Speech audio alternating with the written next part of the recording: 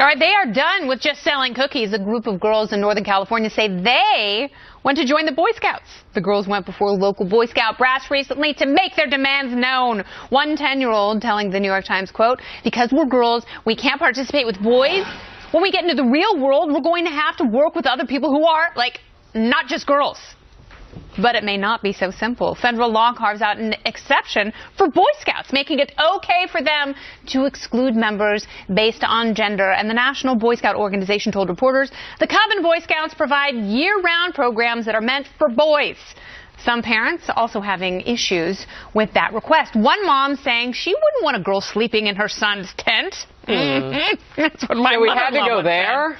Uh, so Harris, we have so much more territory to, to, to cover before we yeah, get there's a, a lot the more tent. before before we get to what happens inside the tent, which is what happened on overtime. I was going to We will that. be talking about That's what a more happened inside the tent. to discuss So that. these uh, these four young women, ages uh, from 10 to 13, call Mm-hmm. themselves the Unicorns. Why not just create your own group? Okay, so that's an interesting discussion to have, the Kid Scouts or something like it, because, you know, I understand the idea of wanting to compete at, at different things and maybe wanting to do the knot tying instead of maybe some of the other activities that the girls are doing. I was a brownie. I went into to Girl Scouts. Yeah. I loved it.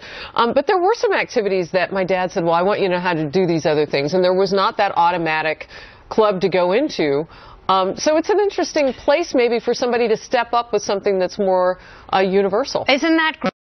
Uh, the Girl Scouts, they're kind of losing Yeah. this PR campaign right now because Right. people are going, oh, what do they just put on glitter nail polish and eat cookies and sell them perhaps? Well, yeah, and it really makes me think, are we allowed to maintain any sort of classic American tradition in our cultural institutions? You know, there is a Boy Scouts and there is a Girl Scouts, and they're both great organizations. I've been involved with the Boy Scouts myself, Cub Scouts through my children, and let me tell you, we go hiking, we've done overnight camping. I don't see why the Girl Scouts can't do the same thing. In Sure. fact, on some of our hikes, some of the siblings or sisters come with us, so Yeah. it's not as if they're excluded from participating hmm. in some of the more diverse activities, but it really does make me think. I mean, and it makes me sad in a way because we talk about this sometimes with transgender bathrooms. Should we have people able to use the same bathroom? There should be a basic baseline common sense when it comes to sort of our tradition, certain traditional values. I think this is one of those instances. I, I went to an all-girls school for a few years, and Yeah. it was the greatest experience of my life because you you figure out who you are as an individual without putting boys in the mix. Which, if you're a certain age, it complicates matters, Yeah. and you focus on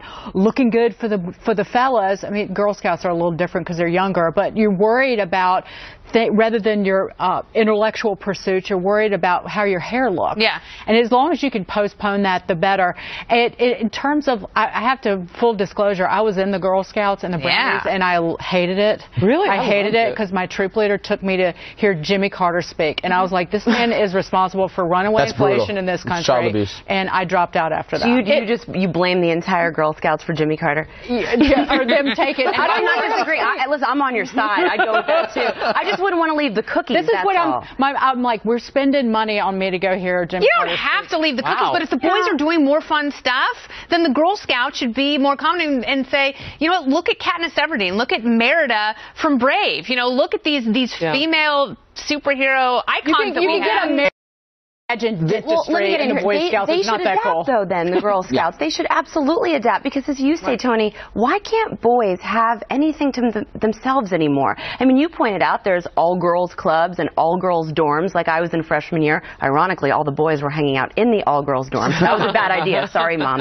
Um, you know, I don't, I don't get it. Just let them have their own thing. And then Man Scouts, the next step on our journey. For our single friends.